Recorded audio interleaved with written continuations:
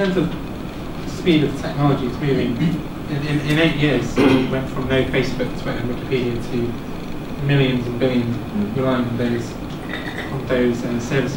Do you think that technology could move so fast that if we don't start investing in online voting now, the divide between politics and the way people live their lives be really, really far?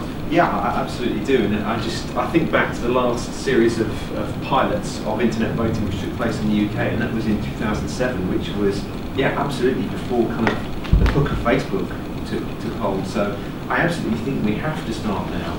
And I think that coming back to a point earlier on that um, that Chloe mentioned um, about having this um, really looking to the future and putting a kind of marker in the sand and saying, you know, by this date we need to be trying something. We need to be trying, um, you know, we, we want to be doing online voting in parliamentary election and, and, gradually building up to that. Because I think one of the ways that you help create public trust is you have this very measured approach of, of kind of scaling up.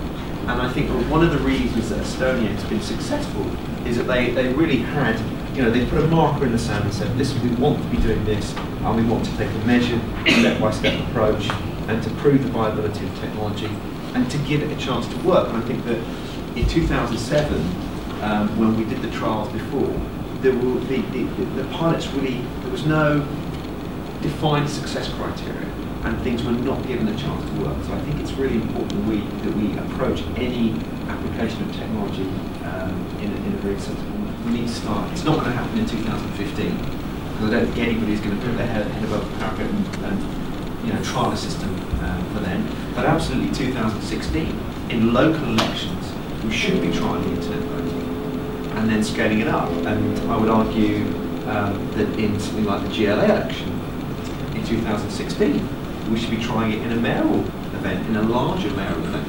Um, I think we need to be we need to be trying all these.